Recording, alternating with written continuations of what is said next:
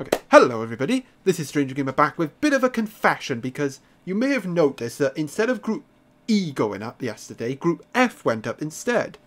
And that was because one of the matches in Group E, the file got corrupted. Because you see, when I when I do these, I, I record each match separately in case, worst case scenario, one of them gets corrupted. And in this case, I'm bloody glad I did, because if I didn't, I would have lost all of Group D E's matches instead of just the one, and that one match being Primal Cartman against Team North America.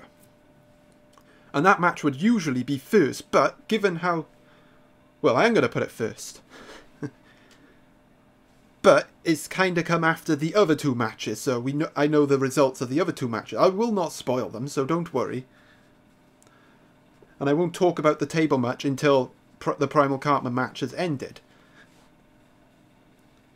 So, without further ado, we will start Group E Round 4 with Primal Cartman against Team North America, so enjoy. And then the other two matches will come after this. Alrighty then, up first for Cartman in the red corner we have a Spinosaurus. And before people ask, I'm not going to reveal who won the match last time in, in the corrupted video. Unless, unless the same person wins. Okay, this Spinosaurus, very much the attacking type here but it will be at a type advantage against this Einiosauruses of Team North Americas.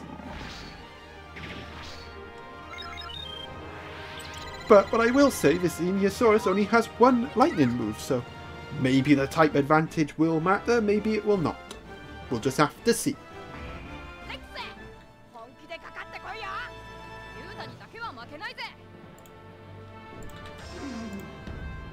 Ooh, good start from the Einiosaurus there, and Anhanguera dive to boot. But even with a type advantage, a decent amount of damage done, I'll say.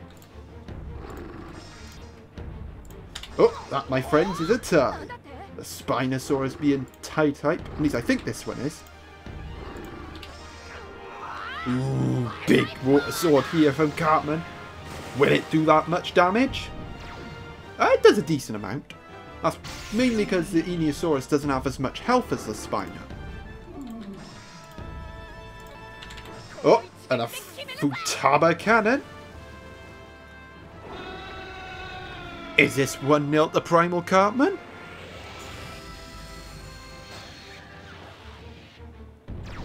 Indeed it is. A good start there, despite having the type disadvantage. Okay, as for Team North America's second dino, we have an Ankylosaurus.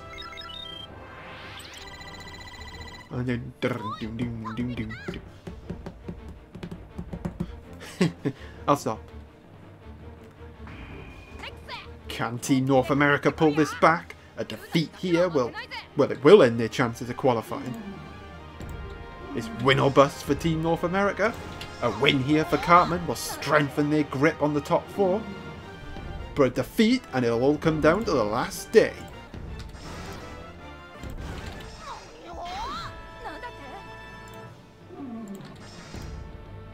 Oh, we've seen this before. When you fail to take out the first dino, and the first dino gives your opponent a 2-0 lead.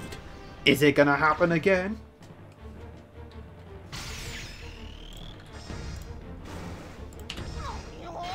That seems to be a theme in this tournament. Like, when you fail to defeat, to get hits off on the... When you fail to get off hits on the first dinosaur, and then the first dinosaur gets, gets off a couple of hits, and then all of a sudden you find yourself 2-0 out. But that hasn't happened here, and Team North America have pulled it back. But Primal Cartman still has a decent lead. Okay, up next for Cartman we have an Eocarcharia.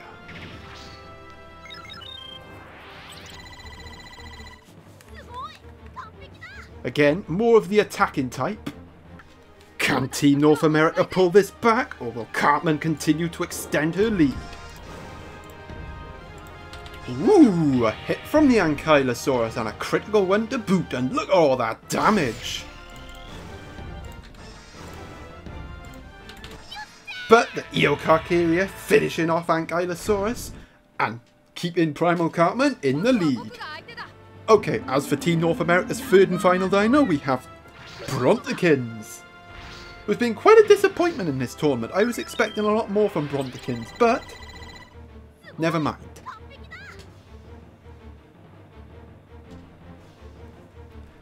Can Brontikens be key here for Team North America? Or can Primal Cartman hammer home?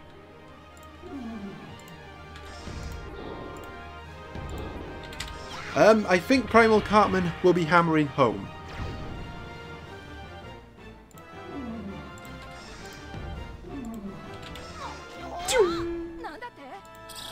Ooh, here's the tie recovery effect. It's another tie. Another tie recovery. Oh, another hit from Eocarcharia. And it's a blazing spin attack. But because it is at a tight disadvantage, it will not do that much damage to Brontikens.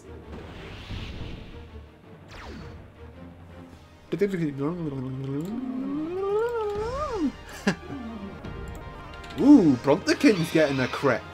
And here comes the recovery.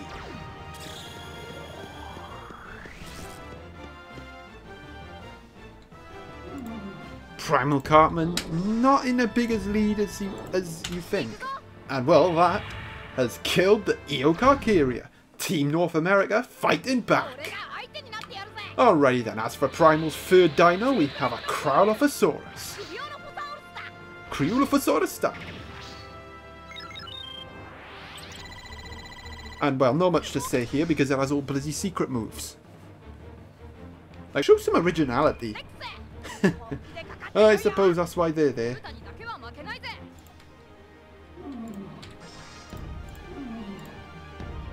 Oh, that's a tie. Oh, here comes Ocean Panic. Panic time for Primal Cartman.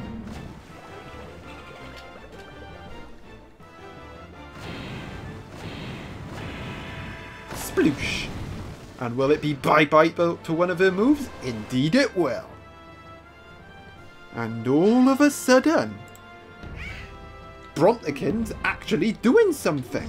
Okay, so Brontikens will be going rock, as will the, the Cryolophosaurus, and it's Spectral Armor time.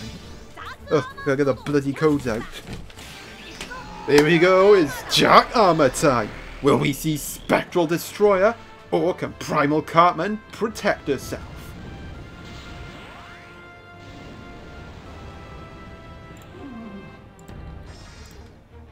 Oh, it's game over!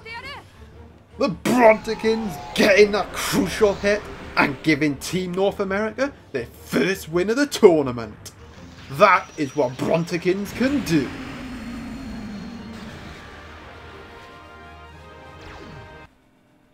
And, despite a valiant effort from Primal Cartman, there will be no losing bonus point. Ah, well, that's kind of that's kind of interesting because Team North America won the first, won the corrupted match, but they won it a lot more convincingly. So, but this match was definitely a better one. So, in a way, I'm kind of glad my file got corrupted, and it, it led to the same outcome anyway. So it didn't really matter, I suppose. But anyway, I'll update the table, and well, past me will be moving on to the next match, but future me will be moving on to updating the actual table and ending the session. Okay, in this matchup, we see, we see. Oh, hang on, I forgot to put the random number generator. Hang on. There. Okay, up, first for Nano Hunter, we have a Simultaranus. And despite not having super moves, this guy's been pretty decent for Nano Hunter. But it's going to be tough because in the blue corner for Lanzhou, we have a Lanzhousaurus, of course. The super impact is not to be underestimated, and it will pack a punch. The winner of this match, since they're both level on points with 7, the winner of this match will temporarily go top until the end of the next match. And also, should, Alad should Aladarr lose in the next matchup, the winner of this match will also guarantee their place in the last 32. Okay, we start with a tie. That definitely suits Simultaranus more because it is charge type. Ooh, but that will suit Lanzhousaurus though, an opening crit. Taking away over half of Simultaranus' HP already. Oh, that, my friends, is a tie. Ooh, Simultaranus though responding with a crit and a defense boost and a light recovery.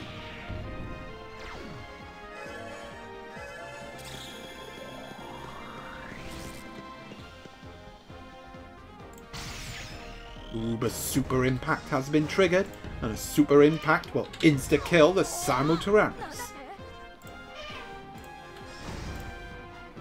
Oh, that's a tie. But again, that will suit Simultaranus down to the ground. Well, consecutive ties there, finishing off Lanzhousaurus and giving Nano Hunter a 1-0 lead. Alrighty then, up next for Lanzhou we have an Edmontosaurus. Not much to say about this guy here, but can it pick... But can it finish off the Simultaranus? Or will we see the same old pattern again? Where the opposition's first dino keeps getting off hits and gives said opposition a 2-0 lead.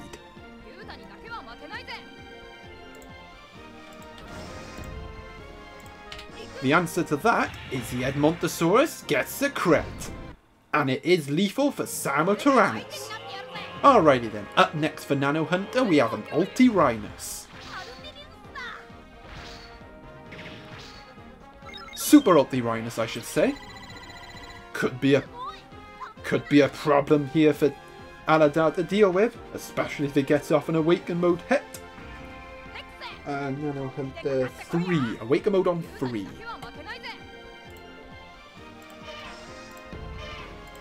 Whoa. Hit coming from Edmontosaurus. Lots of damage dealt there. Ooh, but the Altirhinus responds with a hit of his own. Not as much damage dealt, and the Emerald Garden has been triggered. Okay, twice. And Emerald Garden be activated. Aladarr coming back strong. In, no, not Aladarr. Lanzhou coming back strong in this match and turning the screw. But it is awakening time next round for Altirhinus, so could that be what Nano Hunter needs to wrestle back momentum in this match? Oh, he doesn't get the head! Instead, the Edmontosaurus is going to get off a Metal Wing.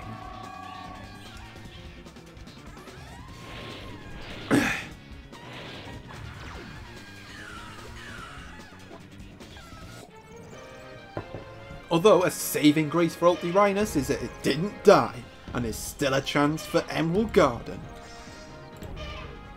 Ooh, an Emerald Garden!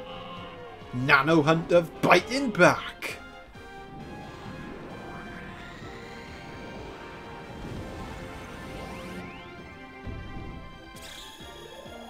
Oh, that's, that's rubbish! Oh, what's this? Oh, it's Nature's Blessing. Okay, that'll definitely make up for it.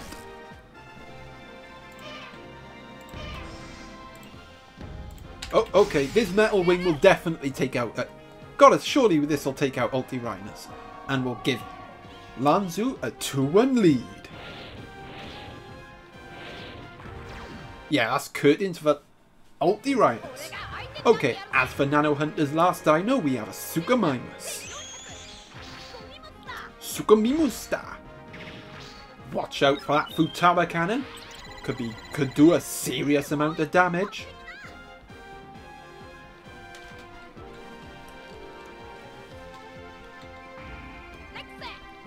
Can Nano Hunter get back in this match and wrestle back the momentum?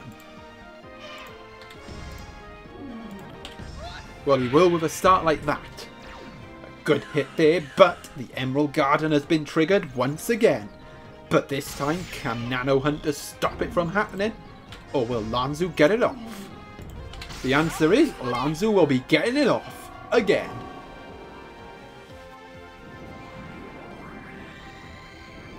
I know, the Suchomimus losing all its health.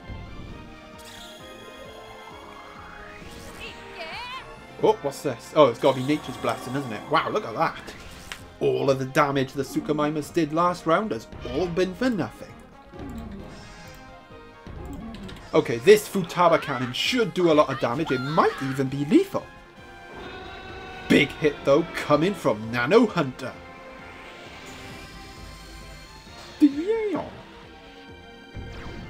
Oh, oh, it almost killed it, but not quite. But this time, no Emerald Garden for Lanzhou. Ooh, well, the critical block's going to do nothing because the Edmontosaurus is dead.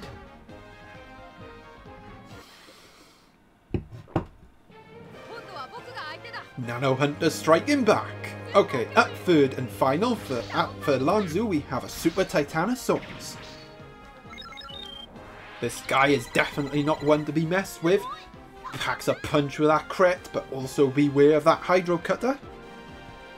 And I feel like the Awaken mode could be key for, for, for the winner of this match. Getting out eventually. Ooh, another Futaba cannon though. And another Futaba cannon be activated. And the Raptor's coming in for critical block. Nano Hunter turning back the screw on Lanzhou.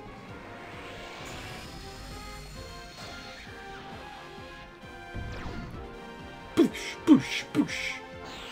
Okay, that's once. Okay, that's rock for Suchomimus. And also rock for Titanosaurus. Ooh. Is this lethal for Suchomimus? Oh, not lethal, but big damage done. And a bone and points guaranteed for both of our combatants. oh, this is such a tight game. Oh, oh, oh, never mind. Suchomimus one. I thought it'd leave on a little bit of health, but an impressive comeback there from Nano Hunter to defeat Lanzhou. But Lanzhou will get a losing bonus point because Suchomimus' health was below half. That was a good match, wasn't it?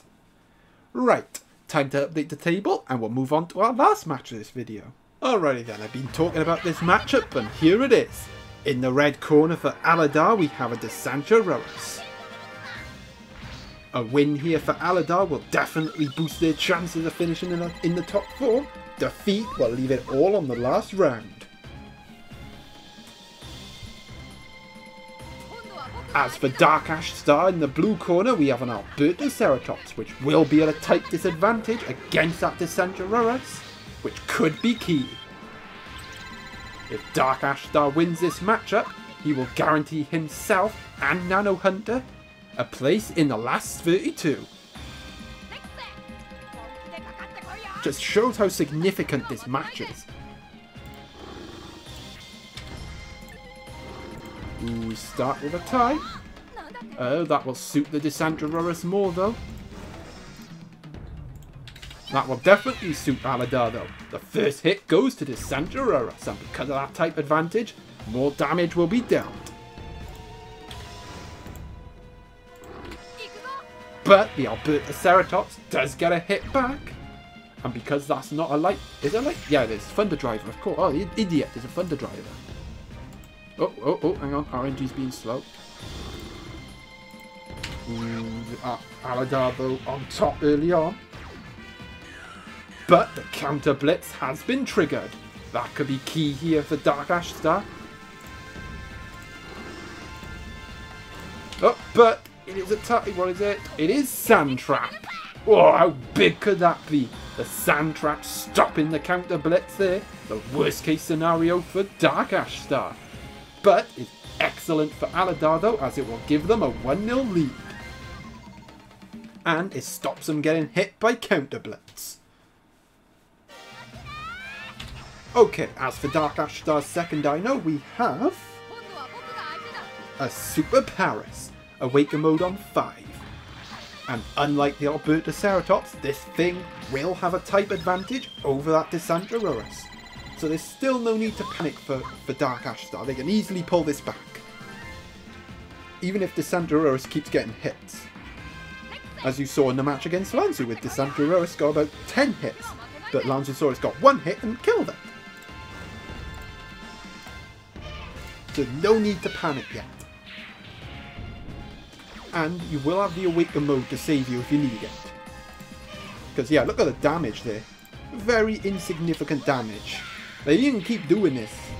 All Paris needs is one hit.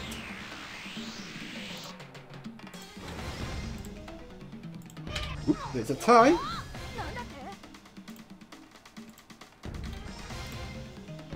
Ooh, here comes the hit from Paris.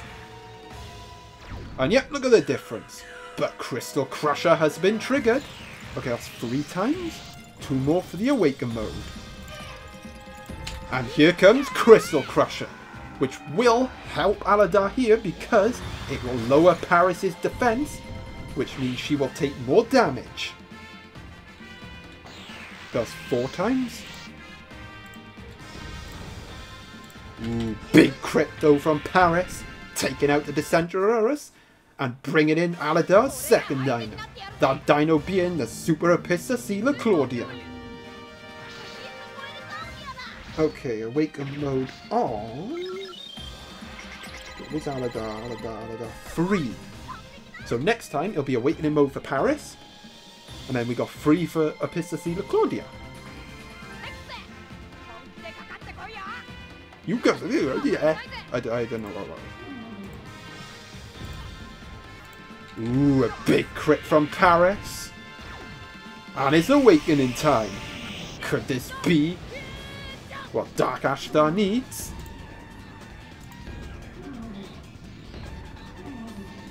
Oh, come on, RNG, don't do this. Now, pause. Come on, RNG, things are getting interesting. Why you do this?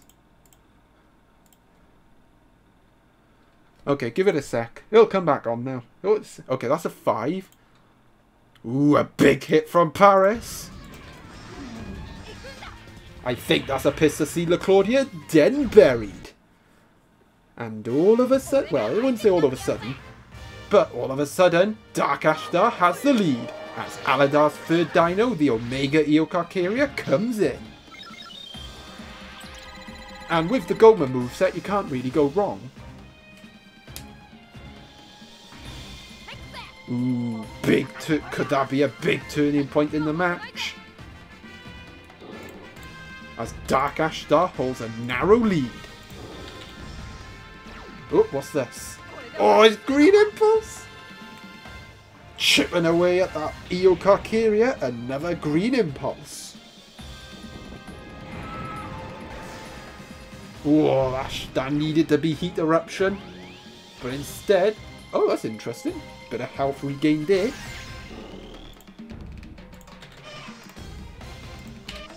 Oh, what will it be this time? Oh my god, another green impulse! but, the old Paris, what you playing at? Another green impulse from Dark Ashtar, chipping away at that Eocarcharia's HP. So from two green impulses, look how much HP your Eocarcharia has now. Oh. Um, I think the Eocarcharia is dead. Oh, not yet, but Dark Ashtar has guaranteed themselves points regardless of the result. Ooh, it won't be a bonus point win though, a chance missed for Dark Ashtar there. But they are still in good position to win. Okay, as for Dark Ashtar's last dino, we have a Black T-Rex. And again, um, with a paltry 200 technique, I'm not sure what Heat Eruption will do.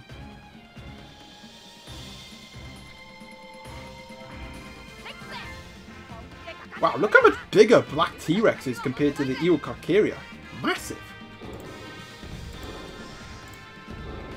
Ooh, a crit from the Eocarcharia. Aladarr making things a bit interesting, but no flare sword.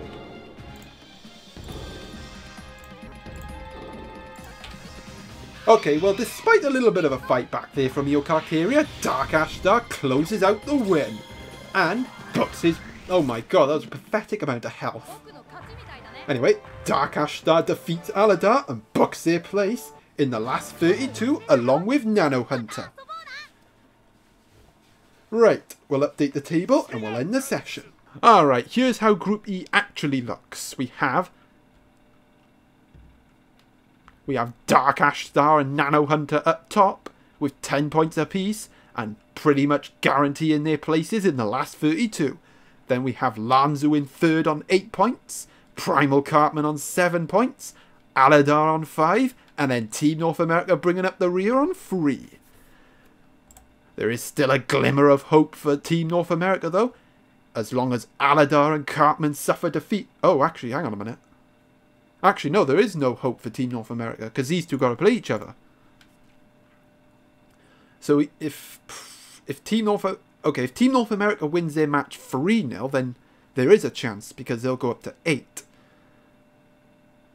And then Aladarr, I think, beat Team North America. And as did, well, Primal Cartman didn't. Okay, there is still a very slim chance for Team North America to get through, but it does look very unlikely because it looks like that even if they get three points, they'll go to six. Actually, yeah, they get three points, they go to six. But still not enough to overtake Cartman, who's who's on seven. If they get to seven, they'll be above Cartman. But then, if Aladarr beat, but then they'd have to rely on Aladarr to beat Cartman, and then Aladarr will go above Team North America, and then Aladarr and, and then Team North America and Cartman will be eliminated. Ooh, it's quite, it's, it's tough to wrap your head around, isn't it? And actually, by that logic, Lanzhou is guaranteed his place in the last 32. Because he can't be below both of these two guys. Actually, no, Cartman defeat... Wow, this is wrap your head around this, people. If Primal Cartman loses and gets a losing bonus point, they will go above Lanzhou on the matchup, because I think Primal Cartman beat Lanzhou. However, I think Lanzhou, Lanzhou defeated Aladarr, so then Lanzhou would be above Aladarr. So yeah, Lanzhou is guaranteed to go through. And fourth place is between Primal Cartman and Aladarr. What a big game that could be. I mean, realistically, between these two. And, funny enough, they play each other. Uh, other matches, Team North America taking on Nano Hunter. And Lanzhou going up against Dark Ash Star. So these three will be fighting to decide who wins the group. And these three will be fighting for fourth. So I hope you enjoyed that. Stay tuned for next time. Well, we've already done round 4 for Group F, so we'll do round 4 for Group G. Well, I've already done it, but it'll be posted up after this video, so stay tuned to then, and until then, it's a Stranger Gamer signing out.